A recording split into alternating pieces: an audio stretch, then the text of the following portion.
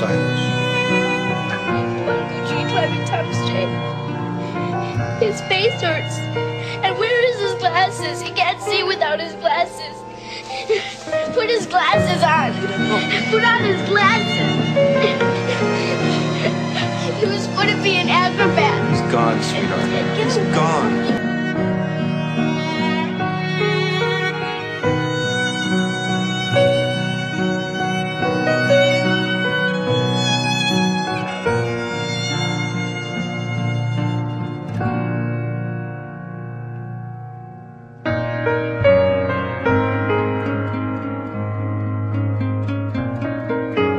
Damn right you didn't listen. You were reckless and selfish and arrogant. I'm sorry. You're sorry you started Armageddon. This kind of thing don't get forgiven, boy.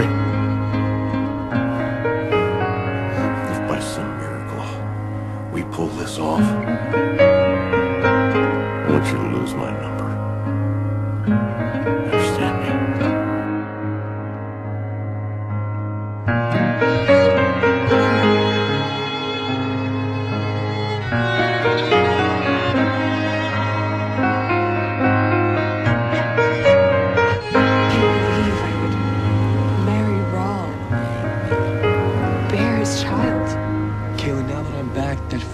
didn't happen or never will happen. Still. Kaylin, when we first met, you told me.